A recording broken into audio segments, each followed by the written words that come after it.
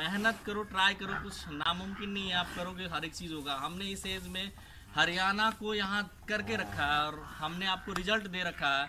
ऐसा नहीं कि हरियाणा के लोग करते हैं और बिहार में नहीं होता। आपने किया ही नहीं, इसलिए आपको, आपके पास हुआ ही नहीं। आप जब करोगे तो हंड्रेड टेन परसेंट रिज़ल्ट मिलेगा। हाँ।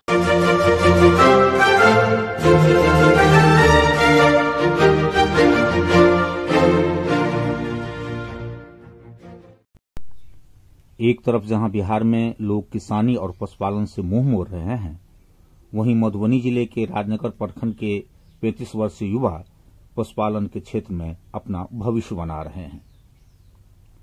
राजनगर प्रखंड के करैया पश्चिमी पंचायत के गौरी मेरन गाँव के निवासी ललित कुमार सिंह, जो पटना के आर्ट एंड क्राफ्ट कॉलेज से इतिहास में मास्टर डिग्री लिए चुके हैं जिन्होंने नौकरी की जगह स्वरोजगार का रास्ता चुना। एनडीए आई करनाल में जाकर पशुपालन के लिए छह साल का प्रशिक्षण लिया, ब्रीडिंग का प्रशिक्षण लिया। वहाँ से प्राप्त अनुभव और कड़ी मेहनत के बल पर आज वो अपने गाँव व आसपास के युवाओं के बीच एक कुशल मार्गदर्शक बनकर उभर चुके हैं। इतिहास के यह पूर्व छात्र आज पशुपालन में स्वयं अपना इतिहास गढ़ रहा है। आइए मिलते हैं मिथिला के इस होनहार युवा से और स्वयं उनसे ही जानते हैं उनकी कहानी को। जो मानते हैं, नौकरी में आप चाहे जिस पद पर भी रहे, आप सिर्फ़ एक नौकर ही होते हैं, जबकि आप अपने छोटे से भी स्वरोजगार व्यवसाय में मालिक होते हैं। हमें नौकरी मांगने से बेहतर नौकरी देना अच्छा लगता है।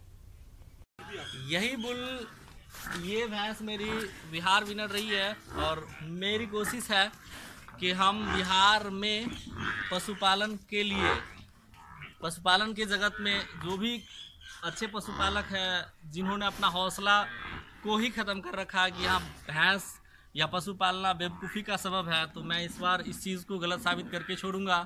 और मेरी एज कुछ ज़्यादा नहीं, मैं ट्वेंटी फाइव का हूँ, आपके समाज का हूँ। और मेरी कोशिश होगी कि एक बार बिहार को छोटा हरियाणा बना के दिखाऊँ और इस चीज़ को सबके माथे से हटा दूँ कि नहीं, पशुपालन कोई गलत सेक्टर नहीं होता है। पशुपाल के भी आप अच्छे और सर उठाने लायक व्यक्ति बन सकते हैं। किसान का कोई ऐसा सेक्टर नहीं रहा जो हमारे देश में हमारे लिए कोई काम ना कर रहा हो। फ़र्क इतना है कि हमारे पास नस्ल नहीं है। हमारे पास जो भी भैंस, दूध के लिए जितना डाइट लेती है, उतना दूध नहीं दे पाती है। हम जितना खिलाते हैं, उतना उनको मिल नहीं पाता है। जिसका सबसे बड़ा मूल रूप रहा है कि हमारे पास ब्रेड नहीं है। और ब्रेड के लिए आप जब तक वर्क नहीं करोगे, तब तक कोई कुछ नहीं होने जा रहा है।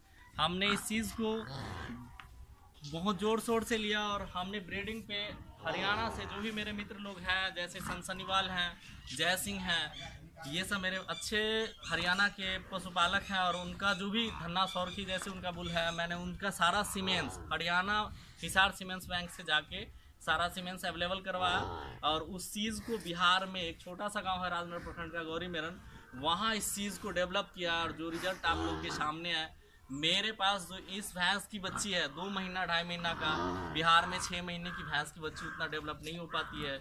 जिसका रिज़ल्ट मेरे पास है और हमने अभी तक साबित कर रखा है।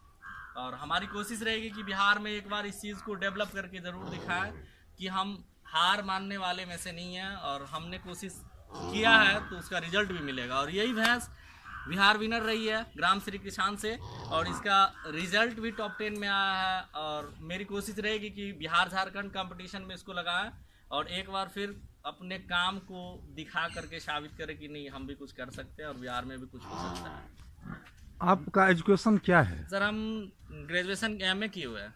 किस विषय से? हिस्ट्री से। और art and craft college Patna से पास आउट लड़का हम आर्टिस्ट हैं। तो ये आपको पशुपालन करने का जो है शौक कहाँ से आया और क्यों आप इसके तरफ़ मुड़े? सर मेरी बचपन से शौक रही है कि एक बार पशु को समझा जाए और पशु को जाने। कमाने के लिए सर एक से एक सेक्टर है, जिसमें आप जीवन यापन के लिए वर्क कर सकते हो और कमा सकते हो, लेकिन ये प्यार और ये लगाव हर एक चीज़ से नहीं होता।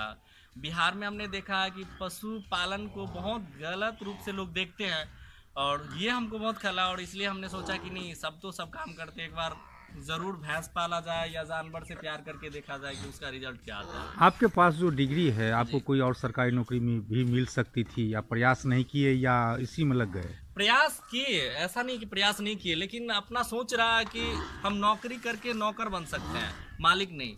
और हम चाहते हैं कि कुछ लोग को हम जॉब दे। हमारा कुछ एक वर्क हो, जहाँ पे लोग हमारे पास काम करें और हम, हमसे सैलरी ले और वो अपना जीवन यापन करे और अच्छे ढंग से करे। मेहनत करो ट्राई करो, कुछ नामुमकिन नहीं है। आप करोगे, हर एक चीज़ होगा। हमने इस एज में हरियाणा को यहाँ करके रखा है और हमने आपको रिज़ल्ट दे रखा है। ऐसा नहीं कि हरियाणा के लोग करते हैं और बिहार में नहीं होता। आपने किया ही नहीं, इसलिए आपको, आपके पास हुआ ही नहीं।